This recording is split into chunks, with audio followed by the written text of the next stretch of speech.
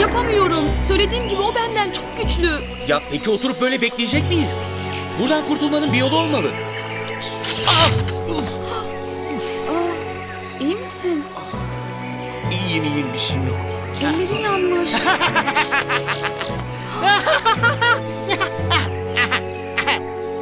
Ha, aman ne kadar dokunaklı bir sahne. Gözlerim yaşardı. Şoker. Evet çiçim, benim. Neden bu kadar şaşırdın? Ha? Bu işi buraya kadar getirdikten sonra o ağaçtaki çiçeği alıp yeniden dünyaya dönmene, insan olmana izin verecek değilim herhalde. Yapma bunu Şoker. Lütfen. Hem benim insan olmamı engellemekle senin eline hiçbir şey geçmeyecek. Kulina ve Yüce Konsey senin insan olmana asla izin vermeyecekler. Nedenmiş? Senden ne eksiğim var? Pekala ben de insan olabilirim. Şoker lütfen. İlk defa hayatında doğru bir şey yap. Kulina'ya haber ver lütfen. Ah, şimdi iyice saçmaladın nanacık. Sülne'ye sizin geleceğinizi söyleyen ve bu tuzağı kuran benim. Şimdi size yardım mı edeceğim yani? Bak dışarı bir çıkarsam görürsün ona göre. Çok korktum. Sarı kafa seni.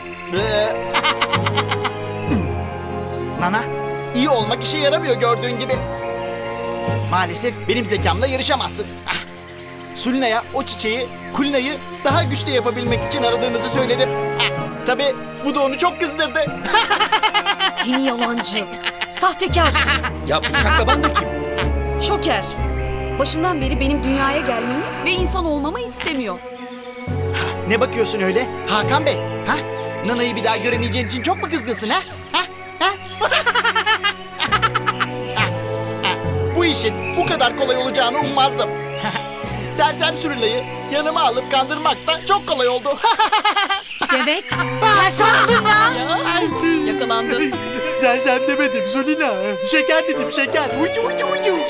Sen yanlış anladın herhalde. Yalancı. Seni şaklaban seni. Ben senin yalanlarına inanır mıyım hiç?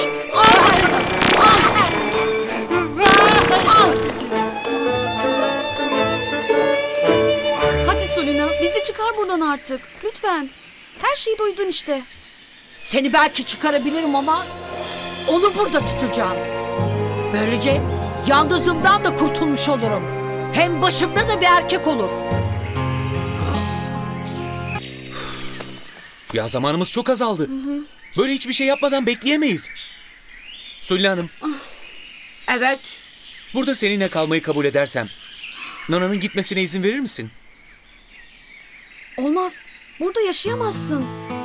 Hem sen olmadan başaramam. Belli olmaz, belki de başarırsın. Hiç değilse böylece bir şansımız olur. Hayır. Senin burada kalmana izin veremem. Ama insan olmana bu kadar yaklaşmışken pes edemezsin. Sen olmazsan insan olmamın ne anlamı olur söyler misin? Nana ne olur şimdi bunları tartışmayalım. En azından senin için bir şans olsun istiyorum. İsteğine kavuşmalısın. Peki senin hayatın? Hı? Senin isteklerin? Benim için çok değerlisin Nana. Anla artık.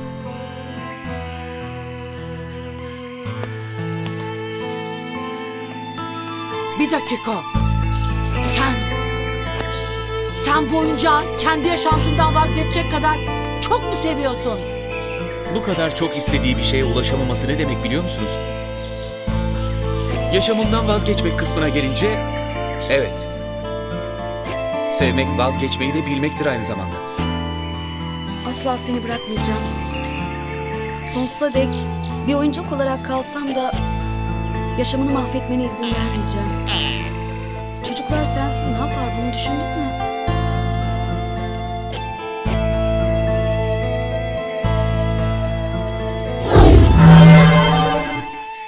Çabuk gidin buradan. Madem birbiriniz için kendi hayatınızdan vazgeçmeyi bile göze alıyorsunuz. Bu aşka saygı göstermem gerek. Öyle değil mi? Teşekkürler Sulina. Teşekkürler. Sen çok güzel bir kadınsın biliyor musun?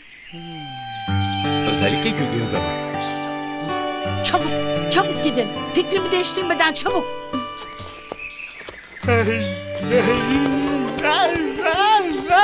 Güle güle tatlı çocuk. Seni asla unutmayacağım. Ah Kulina. ah.